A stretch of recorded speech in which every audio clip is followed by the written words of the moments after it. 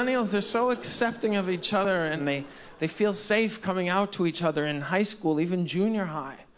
I have to be honest with you, in 1987, I didn't feel safe ordering a Sprite. this will sound nuts, but Sprite amongst the men of my community was considered a woman's beverage. Why? How? We, because it's translucent like lingerie? I've never been able to figure out. I mean, also, the, the word sprite is a synonym for woodland pixie.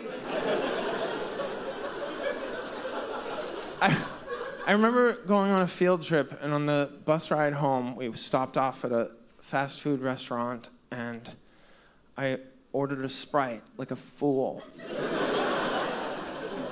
in front of everybody. And this bully, he came up to me as I was drinking in front of everyone. He said, Enjoying your fairy juice? Fairy? and I was, yes, mortified, but also at the same time so confused as to how a bully could be that conversant in A Midsummer Night's Dream. I was kind of a lonely kid. I, I, think the best way to picture my childhood was think of Charlie Brown had Snoopy died.